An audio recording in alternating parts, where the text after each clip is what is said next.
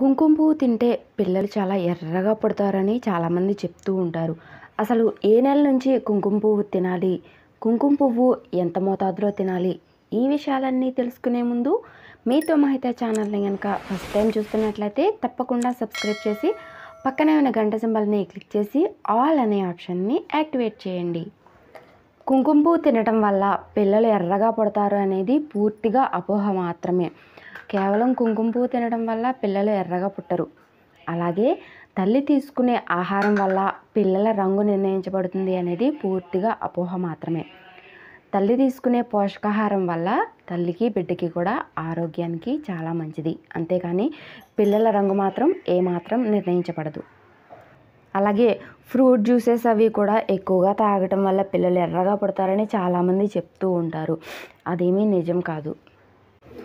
పిల్లల రంగు కడుపులోనే నిర్ణయించబడుతుంది. తల్లిదండ్రుల యొక్క జీన్స్ పైన ఆధారపడి ఉంటుంది.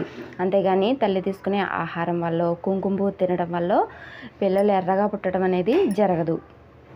సాధారణంగా గర్భిణీ స్త్రీలందరూ కూడా కుంకుమ పువ్వు తీసుకుంటూ ఉంటారు.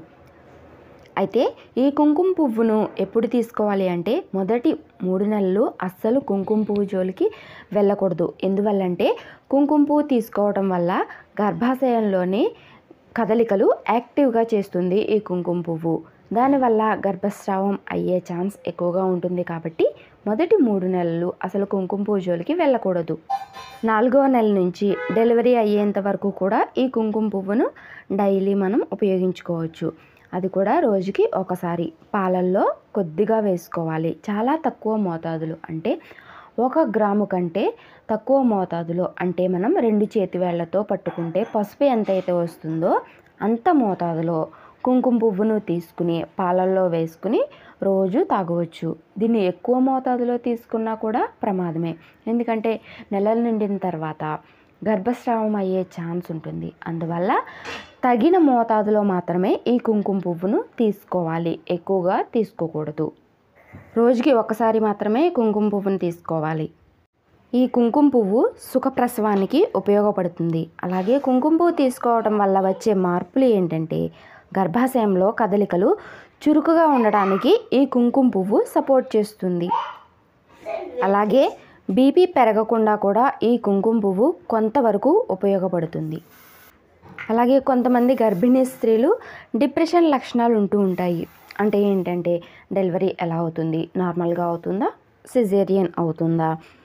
లేదంటే అమ్మాయి పుడుతుందా? అబ్బాయి పుడుతుందా? అని చాలా టెన్షన్ పడిపోతూ ఉంటారనమాట ఇలాంటి లక్షణాలు తగ్గించడానికి కూడా ఈ కుంకుమ పువ్వు కొంతవరకు ఉపయోగపడుతుంది.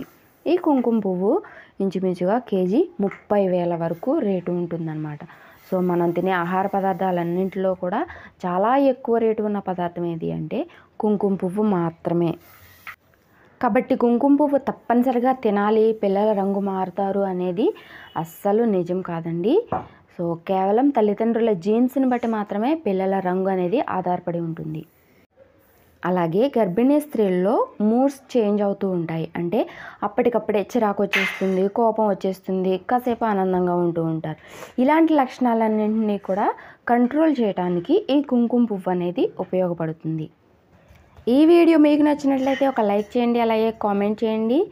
మరిన్ని ఇలాంటి వీడియోస్ కోసం మీతో మహిత ఛానల్ని సబ్స్క్రైబ్ చేయండి. సబ్స్క్రైబ్ చేసిన తర్వాత పక్కనే ఉన్న గంట సింబల్ని యాక్టివేట్ చేయడం మాత్రం మర్చిపోకండి. నెక్స్ట్ మరొక మంచి వీడియోతో మళ్ళీ కలుసుకుందాం. అంతవరకు బాయ్ టేక్ కేర్.